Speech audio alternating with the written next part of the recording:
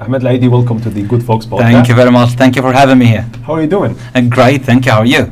I'm doing great, thanks. Great. Uh, so it's been a while since I wanted to have you in the podcast because Ah, I think that you. were one of my favorite people that I like talking to. Thank you very and much. it's like one of those I, I, I have with you those those conversations where talking never stops, like a topic after another.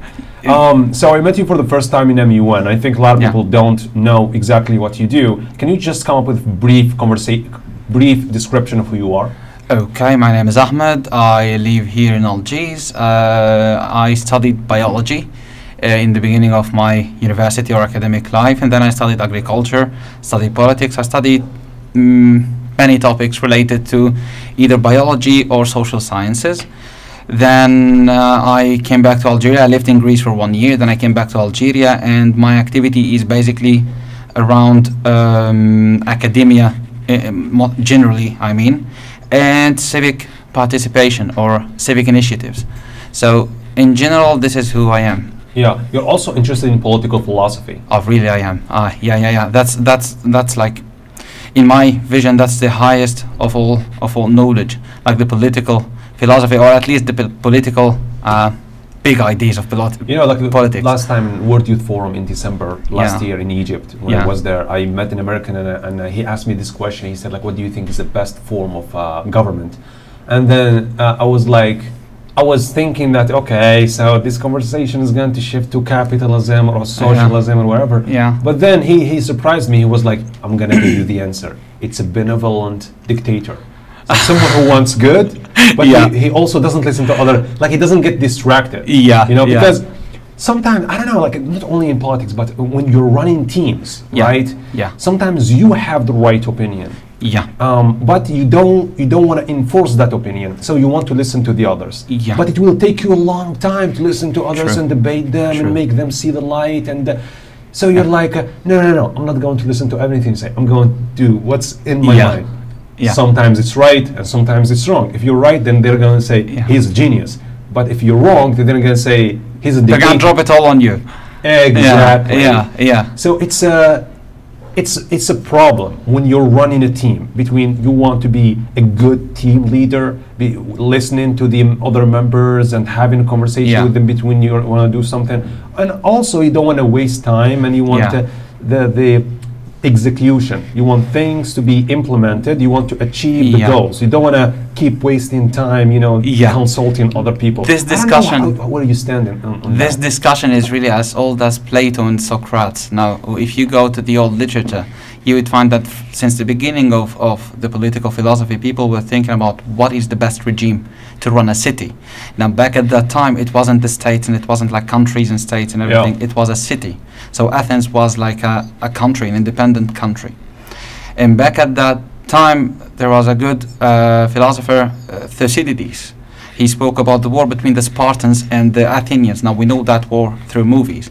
We know this is Sparta. Yes. Yeah, this is the, this is what we know about it. However, if you go deep into history, you would find that there was a big war between. Is it the movie 300? Yeah, 700? exactly, exactly. Now, if you go back to war uh, to, to, to, to history, you'd find that there was a big war between between Athena and Sparta, and then from that point started like people started to think, what is the best regime? Now, when you think about the best regime, you have clear options. You can have a tyranny, you can have a democracy, maybe. You can have an oligarchy where the wealthy rule the place. You can have many different types of regime, but democracy was the regime which was adopted in Athens back at that time. Right. Now, democracy has its advantages, but we cannot deny that democracy had, ha- has its Disadvantages. disadvantages. Thank you very much. Now, the advantages, okay, we all uh, have a share in deciding what happens to the country, maybe, okay, fine, but we all, for example, give opinions, and our opinions are taken seriously in decision making concerning the country. Now, the question is who said our opinions are right? This is the real question. Plato, uh, uh, Socrates, for example, was executed in Athens based on democracy. People voted that he was corrupting the youth. Now, after centuries of Socrates, we still read Socrates until today, and he was not basically corrupting the youth. He was he was uh, kind of cultivating a new ideology there. He's another decision in in old Athens. There was a general. His name is Alcibiades, Alcibiades was leading the campaign of the Athenians, which was going to Sicily. They were trying to occupy Sicily, which was a crazy decision because at that time they were already at war with Sparta. So after uh, Pericles, the king of Athens, after he died, people started to doubt everything. Like they thought that everyone now is gonna try to take his place because of personal motives and because of different reasons, right? So they were suspicious of everything. First of all, Socrates was off the table. Second thing, Alcibiades was the second best general in the Athenian army, right? What they did is that they called Alcibiades from the front line, and then uh, they accused Alcibiades of having private motives to rule Athens and that he wanted to make a tyranny. They got him in jail, they wanted to execute him. The guy ran away, went to Sparta, gave him the advice which took Athens out of history. And Athens did not exist as an empire after that. So basically, this was a perfectly democratic decision.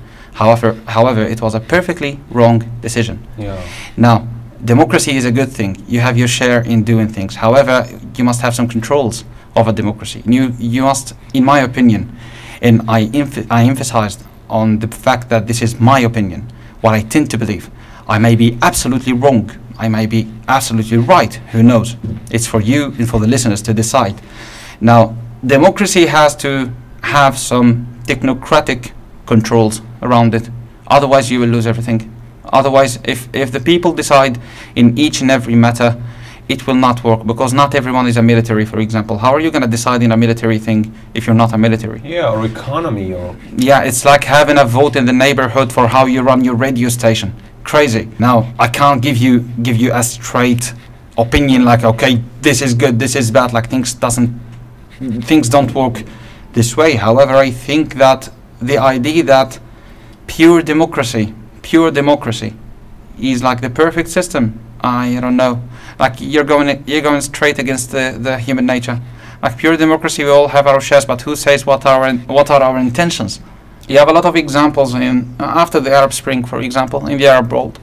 You have a lot of examples where people, uh, where elections were played with through people's needs, for example, through what Al-Farabi later on calls it the necessity, the system of necessity. So, for example, I go to a poor village, and I say, "Hey, look, I'm gonna give you some food aids. So I'm gonna give you some uh, oil, some sugar, some I don't know meat, right? And I want you to come next week and vote for me, right? And maybe people who are not who are illiterate, literally, and they say, okay, you should just go to this sign, just choose this sign, this symbol, and do this.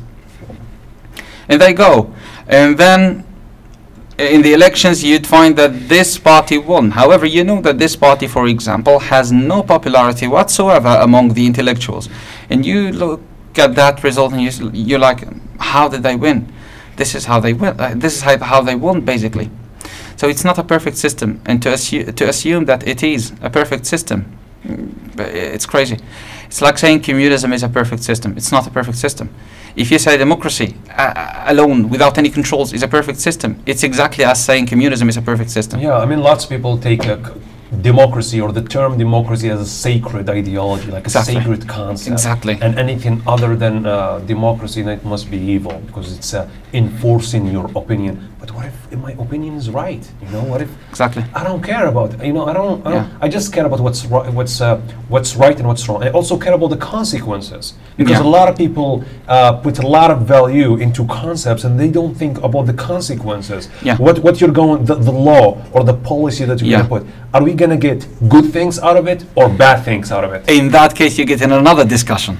In that case if you say okay look democracy has its negative points but it's the best so far. Let me tell you something. Let's suppose that we're going to take this idea. Right we don't want democracy. We want someone who decides. Like we can hold him responsible. Right so we want someone who can decide fast. Al-farabi spoke about exactly this idea. And he spoke about the philosopher ruler and the prophet ruler. And he was indicating at muhammad peace be upon him right? And then he said uh, because muhammad uh, muhammad peace be upon him if you think about it he was a prophet legislator. So he was a prophet and he was legislating how life should be. So you shouldn't do this you should do this you shouldn't do this you should do this. Now al-farabi said that okay if we um, if we decide to, to make such a system where there is one person who rules, this person has to be perfectly a philosopher, so perf- perfectly activated in terms of rational thinking, or perfectly a prophet. So he's a person who receives divine things, right? So he's perfectly a prophet. Now, in both cases, in both cases, can you guarantee that this person exists exists today? You don't. Okay, let's suppose theoretically that this person exists and he's the head of this city or this nation or call it whatever you want. Right. Let's suppose that he's good, he does all of, he does his job great, the country is great. He died. Who's gonna come after him? His son? Hmm. Or maybe his friend? Or who's gonna come after him? Now Al Farabi got a solution to that. He said we can drop prophecy because prophecy it's really rare to find a prophet right. So we can drop prophecy. However, we can't drop rationality. So we should keep rationality, right? And we should, if if um, if prophecy is to be replaced, it should be replaced by someone who can judge the situation and make legislations correct to that way. exactly, that exactly. exist. Exactly. So he said, s- if these things cannot be in one person, we can rule as a group. And so this is where the idea of a committee of ruling a country came from, or a committee of ruling a city came from. However, if you go out of democracy, we agree that democracy uh, like, it has some limitations, let's call them. But if you go out of democracy, the, the possible or potential consequences of tyranny are way worse than, than the potential consequences of democracy. So uh, democracy would be like the um, the best of the two bads, I think. Yeah, Yeah. yeah, that's true. Exactly, exactly. At least you get uh, at least you get the freedom to do the art that you know how to do. At least you're not controlled at that aspect, so you get the freedom to to uh, to be creative. However, even in democracy, once you think about it, you have different kinds of democracy. It's crazy. It takes you to a lot of No, subjects. but, but that's true. I mean, historically speaking, I think democracy hasn't caused much damage in comparison. yeah, yeah, for sure, for sure, for Maybe it killed scientists, and that really hurts. Yeah. But not like tyranny, where they where they, there are, there were genocides and. Uh, Uh, yeah, at least it killed them in the name of the people. Now it's crazy to say that. That's crazy. I mean, Socrates was killed in the name of the people. Uh, yeah, that's crazy. However, however, democracy still in these days, with all of the developments that we had that we had during the, the last centuries, democracy still is still the best of the two battles I told you. Um, even in democracy, you have different types of democracy. Like you have liberal democracy, social democracy. like You have different types of democracy. Yeah. I- no one can give you a clear, a clear, uh, clear opinion What do you think about the elites when, when, when saying that maybe it's the elites who need to judge Yeah. between them? No, we're not gonna make this judgment um, on the hands of all people, but at Yeah. least on the hands of the elites. Yeah. And then we talk about the Algerian elites. Who are the Algerian elites? Are there the uh, professors at universities who are teaching question. us, or uh, are there like the social activists out there yelling about like human rights and everything? Um, Uh, are there the rich people? Yeah. Who, who, who, who are we going to give the legitimacy to judge on behalf of us? give it to the institution. Why should you give it to people? Hmm. Give it to an, inst- an institution which has a system that you already know. And then the institution is going to do things. And then when that person who you think is an elite dies, another person will come and the institution will keep working. Why, why, why is it obligatory to give it to a person in specific? Like I state that it is even part of the definition of political stability stable institutions, stable mechanisms of of uh, of reaching to power and leaving power. That's political stability. Institutions, you don't have to give it to people at all. And when you say elites, uh, that's so relative. Like uh, what uh, who you, Intellectual elite or sport elite. who you consider elite may be considered not for other people. But there is something there. I think in Algeria, Yeah. we don't. We talked about this last time. Yeah. Sometimes you disagree, for example, uh, with the professor. Yeah. But he acknowledged that he's one of the elites. He's one of, course. the most knowledgeable people. But course. here, do you remember the example that I gave about the Guardiola? He said like he's not trained. Yeah, yeah. You disagree with him. It's not like he's not trained. Of course, of course, you disagree. By the way, we talked about Think that about last time because I know that people are Yeah. listening to this podcast with it now. We talked about how Algerians criticize uh, Yeah. uh, people or players or whatever. So, for example, in Mo- if Manchester City is playing and then they lose, instead of saying, uh, like for example, the, the um, I don't know, like the, the trainer is just uh, was wrong in that strategy or something, someone would say like uh, he's not trainer at all. Or Yeah. for example, if someone Yeah. doesn't like uh, Cristiano Ronaldo or Messi, instead of saying, "Oh, I don't like uh, the way he plays," he says he's not a player. Like, how come he's not a player? He is player. It's just that you disagree with how he plays. Like those two different things. Yeah. And so there are, for example, elites in society. Of Yeah. course, you can disagree with their opinions. Yeah. But maybe you still acknowledge that they are on the top of what we have on society Mm, in terms of knowledge. Okay, fair enough. Now, uh, look, let's take the example of Guardiola first. Then we're gonna go to the elites. Fine. Mhm. Now, let's talk about Guardiola. Why do you disagree with Gu- Guardiola? You disagree because the result was bad. So No, but because of also the plan. You think that maybe if he uh, executed another plan that was in your mind, things Uh-huh. would have been better. Great. What if he won that game with the same plan? You would, you would say Would you criticize the Yeah, plan? of course you would not. You wouldn't. Fine. So what you're criticizing basically is the consequence of that plan. You're not criticizing the plan because if we go to, to if we go to the level of the plan, you have no idea how plans are made in football, and if you do, you have a superficial one because you have never had an experience training any other team. So how how would you know? Now there, there's a French philosopher who, sp- who speaks about this, and he says like, okay, it's easy to say uh, I can train a team. I can go and train the team, right? But once you're there and you're waiting for the team and the time It's and a the training, it's a whole different issue. So what, basically, what you are uh, objecting to is the consequence. Like the consequence made you angry, and now when you're angry, let's talk about another concept, which is great. In psychology, there are there are two attitudes for a person, right? now there is the explicit attitude, and there is the implicit attitude. The explicit attitude is what I say to you, like, "Hey, you look good today," for example. So that means my explicit attitude is that I like your look, but maybe I can say you look good today, but inside of me I say you look awful today. So this is my implicit Those are the attitude. intentions. Exactly. Not intentions, an implicit attitude. But something something is not allowing my implicit attitude to, to go out. Maybe you're my manager. So I would say maybe I don't know, maybe you're um, I don't know. Okay? now, when you're angry, what happens is that those barriers between the implicit and the explicit they disappear. And then certain regions of your brain they deactivate temporarily and what happens is that this barrier is off. And so when you're angry, you're saying things that you don't want to say. And you later on you you regret what you said when you're angry. That's why they tell you when you're angry, be quiet, don't speak. Right. So when this disappears, when you're angry, there are two things which happened inside of you. The first one is that you don't agree with the consequence, you don't agree with the result, which is right in front of you. You don't agree with it, that's why you're angry. The second thing, you think that you know what's, bet- what's best, what was supposed to be done. Yes. Right. So at that point, you're in a higher moral place in your perception concerning the or comparing to the other. So now you start screaming and saying whatever you want because you think he's inferior, he made a mistake, you know what's the right solution for this, and now you're bombarding this person, right? Now when you're angry about Guardiola, you feel like you're here. You start bombarding Guardiola personally.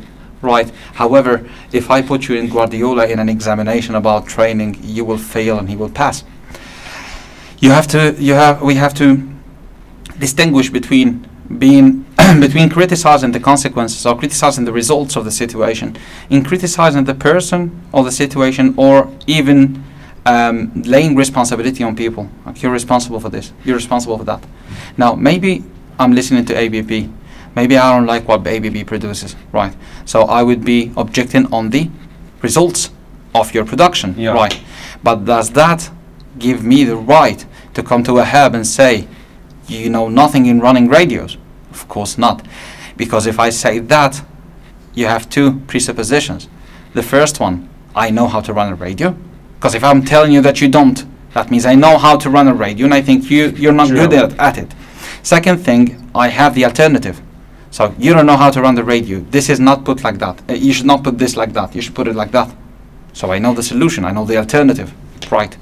In most of the cases that you see on Facebook, for example, do you think those who write these critiques about uh, this administration should do that and this person should do that. Do you think they know how the process goes? They don't. Okay, do you think they know what is the alternative solution? They don't have a solution. Then But here there, comes- There are, there are a lot they have an argument. They say that it's not my job to to uh, to produce the solution. It's also not your job to speak about things that you don't know. right? it's also not your job to speak about things that you don't know. Now, the question, the real question, which emerges from all of this, Wahab, if you don't know, if you don't know exactly what you're talking about, right, and you don't have an alternative solution, why are you speaking? Like, okay, whether you blame them or you support them, fine. However, the question remains: Why did I do that? Now, let me ask you a question. If you are the first human on Earth, you are the first human on Earth, right?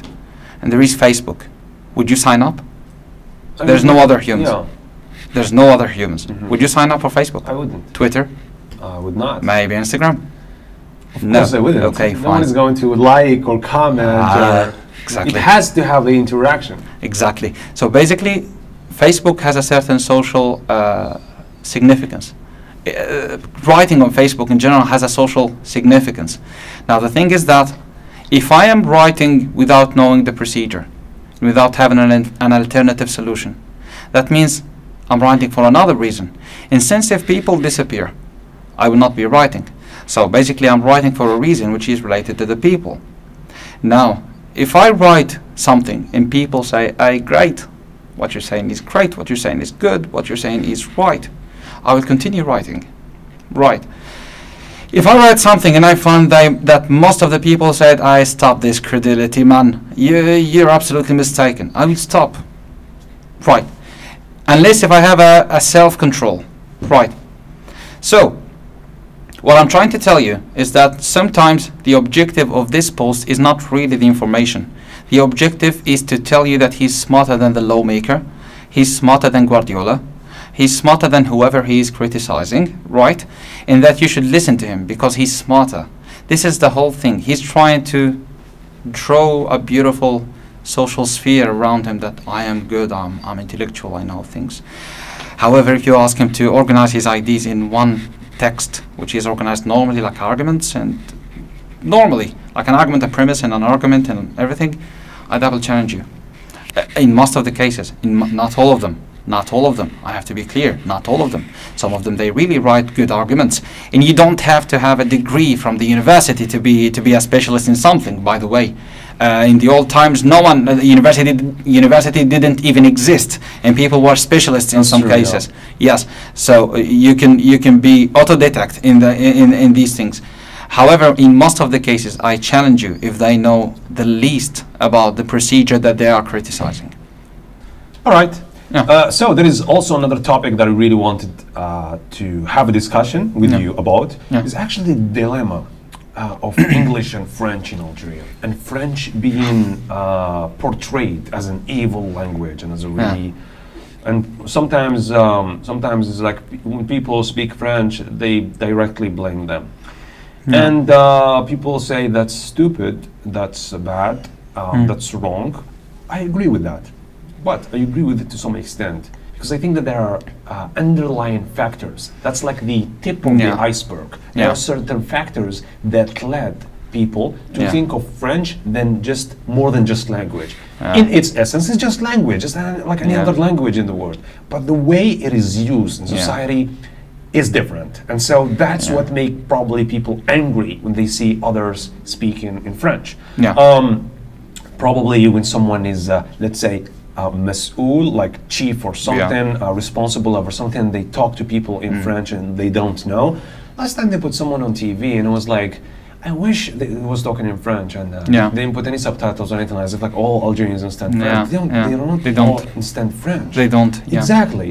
And so I was just, I was saying, I wish I was responsible for that media. Uh. I'm gonna put uh, someone to translate, and I'm gonna do that in purpose. subtitles? The, no, not subtitles. Uh-huh. Uh. Not gonna subtitles. I'm gonna do it just like beIN Sport. That, that, oh yeah, yeah, like, yeah. You know, يقولون, um, yeah, yeah, yeah, yeah. That would be crazy. Yeah. It would be fun. Yeah. And it also sends a message. Of course. That you're actually talking in a foreign language and Exactly. uh, you're going to look like a fo- like a, like someone from a foreign country, Exactly. even though you, you're not. Yeah. Uh, I understand that you might say, "Hey, I am um, an honest person. I'm a good person. I really want to work. Uh, I really want to do well. But Yeah. It's just that I'm more comfortable with French." Yeah. Well, I'm also comfortable with English, but I don't talk to people in English Exactly. because they wouldn't understand. Yeah. So why do you not apply the same thing to French? I know that maybe your network or your or uh, the people that you hang out with, most of them Yeah. they know French. But Yeah. if you go, for example, to a lot of other wilayas, if you um, talk to young people who never, for example, got the Yeah. chance to go to university, and there are a lot of respond them,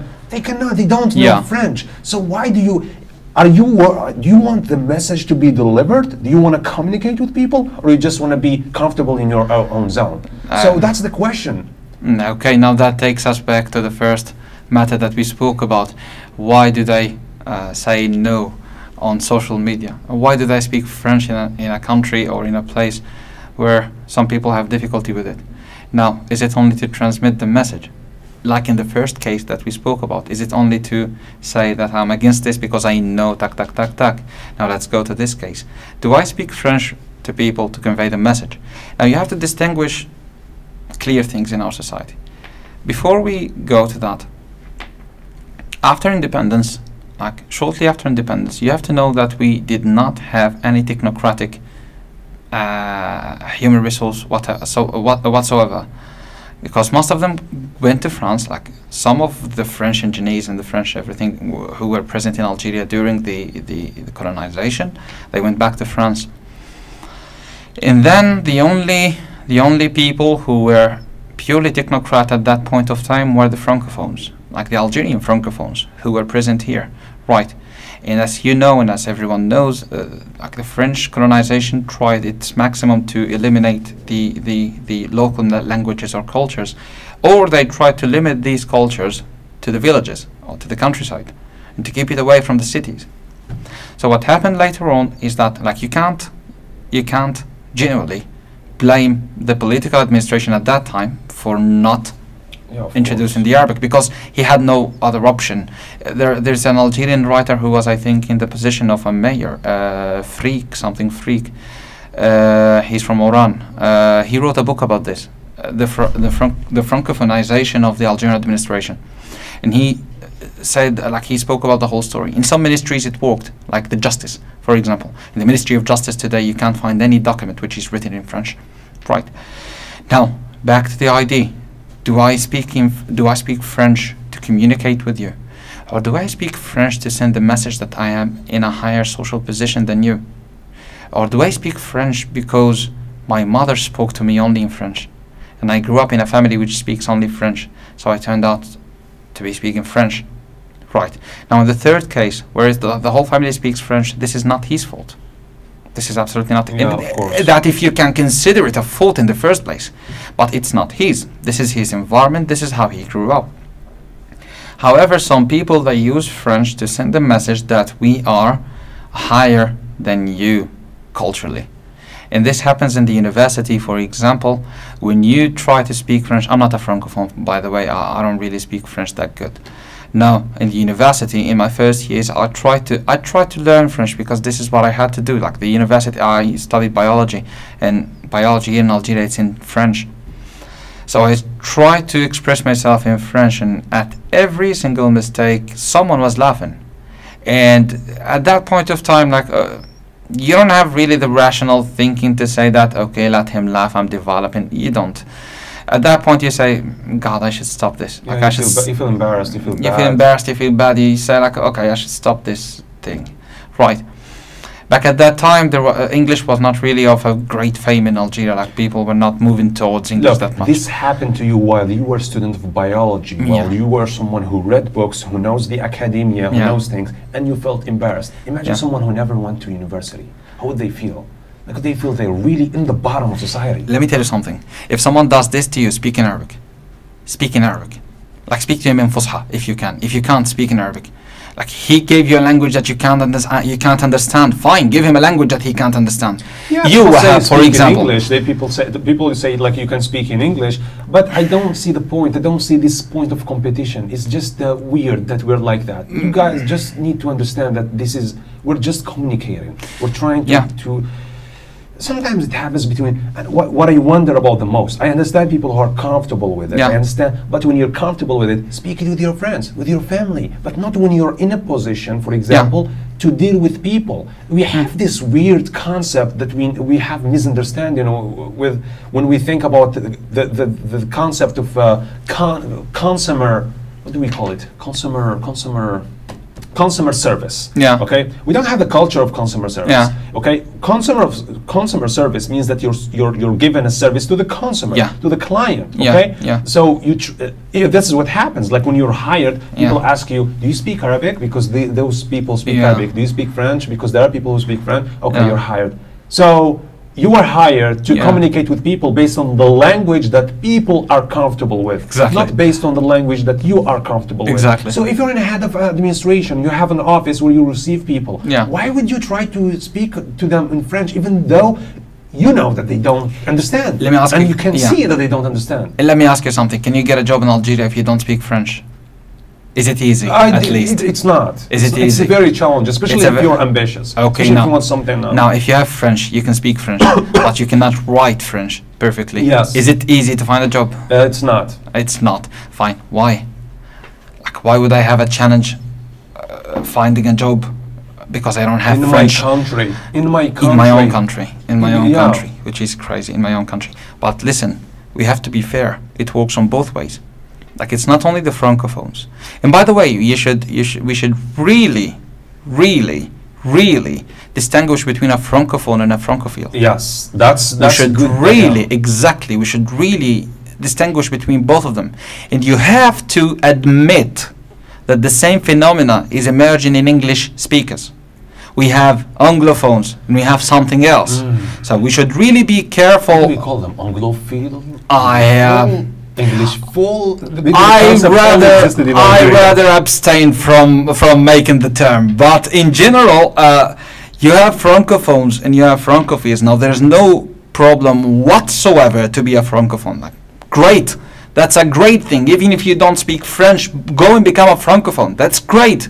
It's an additional language. Of Who says no? yeah, of course. Yeah, but to become a francophile and try to apply the same filters of the French society, which I respect. I don't disrespect the French society. Like it's okay, it's their society. They can live however they want. Like it's not my business at all. But to to bring these filters of the French society and to apply them to the Algerian society, and then to say that okay, according to these filters, which are not Algerian even. You're not civilized. You're civilized. You're a good person. You you're good for work. You're not good for work. I think it's it's it's normal and it's okay if you pick the good things, but when you try to pick the whole package, even the cultural things that uh, that uh, we cannot judge if they are good or bad. They're just uh, they're just filters of the French. They're French. Yeah. Paul Sartre wrote the introduction of a book of Frantz Fanon, The, uh, the Wrath in Earth, I think it was the name. And he was speaking about this idea. And he was saying, like, the French colonization at a certain point of time realized that uh, they're not going to stay in Algeria for long uh, uh, unless they, they change their methods in here.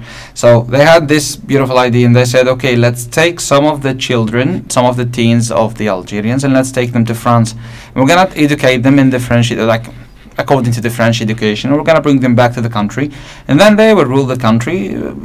Basically, they will rule in our favor because we formed them in the way that we want. They will rule in our favor, and everything will be good. And they did that basically. They took people, to, they took young people, in fact, to France, and they brought them back and everything. When they brought them back, they discovered that these boys that they took were totally separated from the society because the society could not understand these people.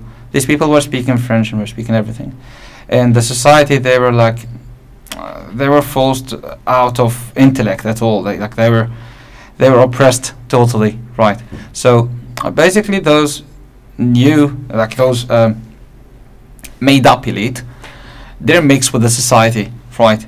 And when they didn't mix with the society they deemed the villagers in the countryside to be the bad ones responsible for this problem right? Not themselves not the colonization. And Sartre was talking about that, and he said, whenever we said, for example, whenever we said freedom, you could hear Edom, Edom, Edom, Edom in Asia and Africa. These people, like he said, these young people, they don't even know what we're talking about. However, they're repeating what they heard from us, right? That's So- so, deep. Yeah, this is exactly this is exactly where the problem of the term of Kavi came from in Algeria. It came from the fact that the, the cities were separated from the countryside, and the, the ones who were in the city were like the ones who were absorbed by France, by the French occupation, of Uh-huh. course, or French colonization.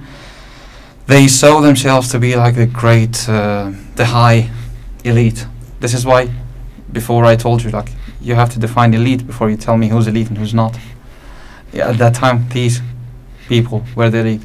And then they became the high elite. And then if you talk, take a look at the countryside, you discover that they are oppressed. They don't go to schools. They only work in farming. They only work in all, diff- all different things. And then this elite, this made up elite, started calling this one a barbarian. He called them all kinds of things. He's a barbarian. He's not an educated man. He sticks to, to the social traditions which we should throw in the garbage.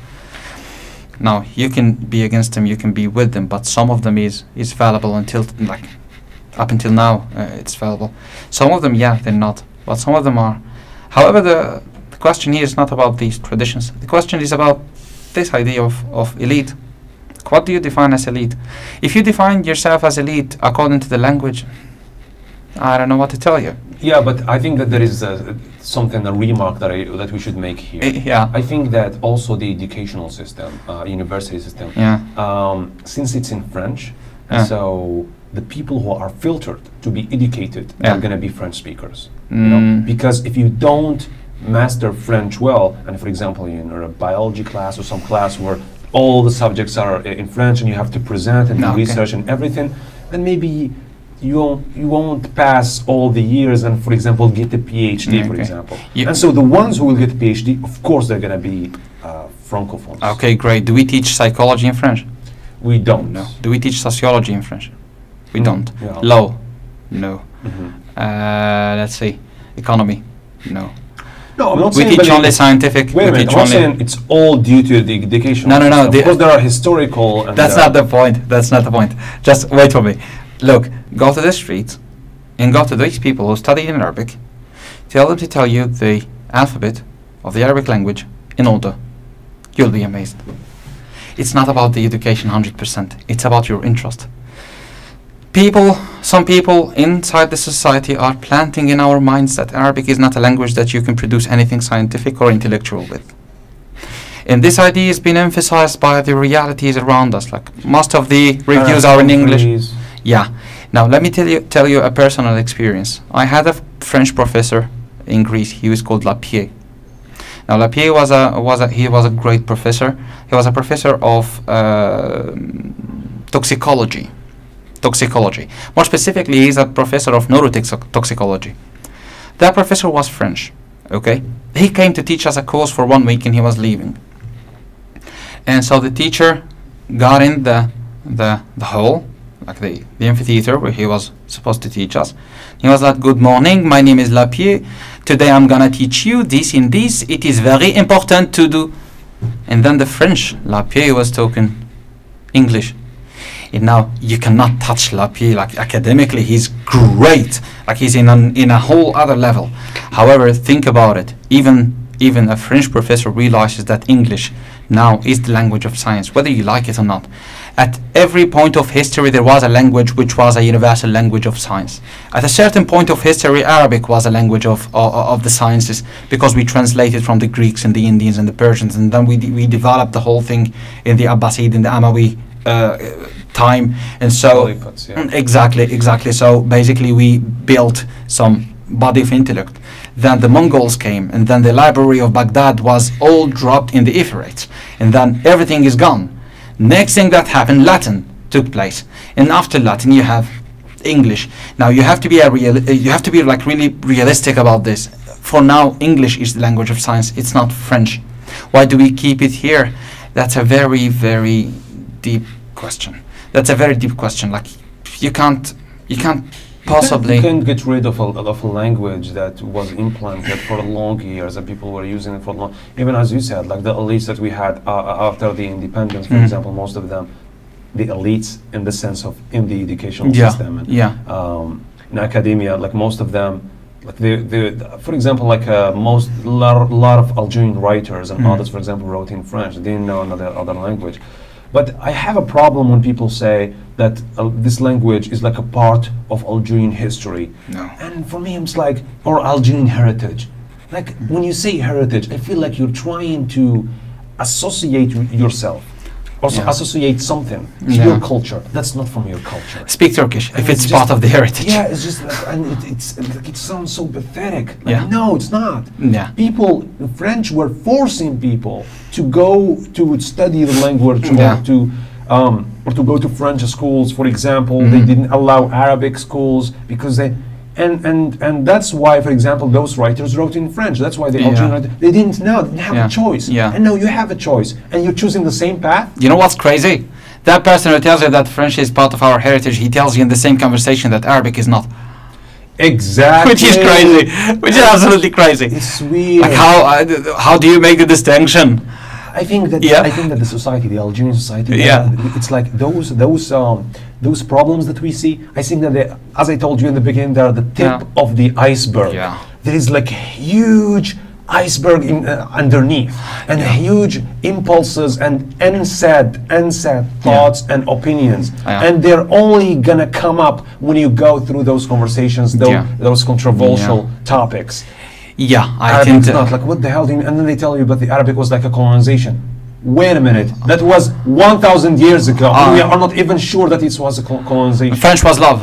Like French came with love. If you refuse Arabic because it's a, it's a, it, it came with coloni- with a certain type of colonization as you as you perceive it. Do you have any idea? How did French come to Algeria? With love? With love letters? Like, obviously, it came with another colonization. And if if French, uh, let me tell you something. Let's suppose, let's take this this notion like, okay, French is part of the Algerian heritage because the French were here, right? Okay, why don't you speak Turkish? Why don't you speak Latin? Augustine, he was from Annaba. You know that, yeah? Augustine, Augustine of Hippo. Hippo is Annaba today. Augustine, who was of Rome, he was from Annaba. He was born in Annaba. Okay, why don't we speak Latin also? You have some you have some languages that you agree I told you the problem is deeper. You have some languages that we agree commonly to use between us as languages of communication. The language itself is not an objective. It's a means. I use it to, to communicate with you. If I'm communicating with Wahab in French and Wahab doesn't understand, I should change the language to a language which is common between me and him. I shouldn't say Wahab should learn the language because I have the option, he doesn't. Maybe I have the option of having two languages. Well, Wahab doesn't, he knows only one language, maybe. That's okay. true. I mean, when I talk about people about French, they Be humble. They say they, they should go to to learn it. It's like why do they sh- why should they go to learn it if they want to study in their own country or get a job in their own country? Why? Maybe they don't have the means. For example, they can't pay for a private school. Mhm. They can't go to Mhm. school. Maybe they they're not attracted to it. You know, you should have the option to study any language. For example, I like German. Yeah. You know, yeah. I don't. I, I, don't. It's, it's like in one hand, you Yeah. tell me that it's just a language like other languages, Mm. and on the other hand, you don't treat it as a language just like the, like the other language. You treat it as yours. Exactly. Uh, uh, look, when you form a state, you basically form a state or a country based on a certain notion of identity. So, for example, if you want to build a unified identity of the state, you would say we are Algerians. Right, we are Algerians. We have one identity. Doesn't matter where you come from. It Doesn't matter which wilaya. Doesn't matter which tribe. It doesn't matter which. Okay, we are Algerians, and you can't, you can't possibly, you cannot possibly deny that this country was at, at its beginning Amazigh. Just to be Yeah. clear about this, you cannot desi- deny this. You cannot possibly deny this if you have any notion of history about Algeria, that this country at the beginning was Amazigh. And then a lot of mixtures happened with the Romans, with the Arabs, with the Spanish, with the Turkish, with the French, with a lot of mixtures happened and we emerged as Algerians. So we should really stick to, to, to being Algerians more than we stick to being whatever Shilha or Shawi or Yeah. Kabil or Arab. Ahmed, I want to ask you in the uh, in the circle of youth leaders and activists, and I guess that you are in that circle. Okay, I got to know you in M1 with uh, Yeah, but I'm not a leader. I, I know. Yeah. Well, maybe you are. I don't know. No, I don't think so. Okay. I know was uh, too quick. It's like no, I don't know if you're a leader. No. Yeah. Okay, so that you you we both know um, a lot of people in the field and everything, Yeah. and uh, we we want to encourage that passion for society to do good and everything. What do you think Mm. are the uh, what do you think what we lack in in in this in this field exactly? We lack no the knowledge that we don't know. Because we, once you did the video when you were saying that like before um, the video that you posted in ABP actually Yeah. you were talking about how like we need before we try to preach and tell people uh, about what's the right way we should also be critical with ourselves and, and ask ourselves is that really the right way because we should also fear um, misleading people you know Yeah, yeah, because uh, it's called intellectual responsibility. because you're criticizing certain thing Mm. and uh, you want to replace it with something else. Maybe the thing that you're Yeah. trying to replace it with is actually worse. You know? Yeah, you have to make sure. Look, the thing is that before before you go ahead and try to convince people with something, you have to be sure that what you're trying to convince them with is true. Simple. The thing the thing that we really need is the knowledge that we don't know. We need to realize that we don't know a lot of things. Right. Uh, uh, Let me tell you something. Let me tell you a small story. In 2018, this in fact happened to me. Um, I basically discovered that all of what I called knowledge that I had was an illusion. Simple. Now, uh, why I discovered that? Because like I discovered a new path where where you have to you have to basically prove everything that you say and you have to prove like every phrase that you write. You have to put a reference and all of that. And then I was like God uh, I know I thought this was true. It isn't then God I thought this was true and it isn't. And then basically what happened is that I realized that I don't know a lot of things right. At that point if you noticed even on, on my social media I got quiet. I stopped posting anything until this day if you if you notice. I got quiet I stopped publishing. But what like the feeling at that moment was extremely painful. Like you feel that out of a sudden you're lost you had some kind of light. I know this thing I know that thing I know that thing. Out of a sudden you're lost. And you don't know not you know nothing. You discover that you know nothing. Even the simplest thing playing guitar for example. I thought that I know how to play guitar. I discovered that I don't. Right. And then when I was well, now I'm trying to learn guitar. Like look I hurt my finger. You can see it even here. Now when I'm trying to learn I discover that I really don't it is so painful. However at that point of time congrats you have been liberated. You will be so you will feel such freedom that right after being lost you will feel like you are dropped in a sea of knowledge. And then you're just trying to drink as much as you can. Simple. Right. So once you know that you don't know first of all you will lose the problems with the team because then you will be listening to people because they may know something that you don't. So you will lose the problems with the team mostly unless you're a rude person in that, in that case. Like i don't know what Yeah. uh, what- yeah yeah. Second when you take a decision you will take a decision which is at least based on a certain foundation. It may be a wrong decision but at least it's based on the right foundation. Three you will be more humble in your speaking with the people. You will be more humble with the social media. Right so i think that what we like now is this because if you go deep inside um, this movement you will find people standing on stages and uh, i think you know abdullah Budiaf, yes Yes. Yeah. Uh, psychologist. Yes, he's a psychologist. He's a great psychologist. He he do, he has this great program. I'm actually thinking about uh, having him. yeah, yeah, yeah. That would be lovely. Uh, he has a great program. He he sp- he speaks about psychological things on on social media. Now, yesterday Abdullah posted something and he said uh, he said, "I listen, guys. If you're looking for someone who teaches uh, public speaking, I'm not there. I'm not gonna participate in that." And that raised a big like uh, that that reminded me of something. Believe me, you go to conferences and you find people standing on stage and they're talking. Believe me, they're exactly like those on social media who write without knowing anything. What they do is that they copy paste. They copy something from his, here, they pass it to the to the presentation, then they present it. And the stage is so uh, deceptuous. The state deceives you. when someone is on the stage, people will suppose that he knows. People will suppose already there that he knows what he's talking about. However, he doesn't. Now I'm sitting with you on this table. If someone is watching this video and he sees like the suit, I don't know the suit or this thing or the radio, he will suppose that I know. I don't. I'm basically telling you what I tend to believe. Like I'm telling you what I tend to believe as a So person. people judge based on appearances a lot. Don't I'll tell you what, I'll tell you what, suppose that I'm lying, suppose that everything that I said in here was a lie, go do do the research. Go check what I'm saying. If it's true, fine. If it's Yeah, I mean, it's a few people who do that. People usually, okay, so people usually judge people based on their clothes, based on their car, Yeah. based on their titles, like what do you work, based Yeah. on how you look, based on language, which language you're speaking with, Yeah. you know? Yeah. And so those are all superficial. You can find people with great, great car, great dress, and whatever, big titles, but they actually don't know what you're saying. You shouldn't follow them because you follow them, you're going to hell. Yeah. Um, so you yeah. marry him and you get divorced after one year. Exactly. yeah, exactly, exactly. That's another problem. When you marry someone based on, I don't know, you marry someone based on the look, for example. If you, marry, if you get married with the woman just because of uh, the looks, you're screwed. Oh, of course, if you marry a man based on the same thing, you're screwed. Yeah, of, yeah, of course. It's the same thing. You can't say man or woman in this case. Okay, so Ahmed, before wrapping up, do you want? Uh, do you have anything else like you wanna say?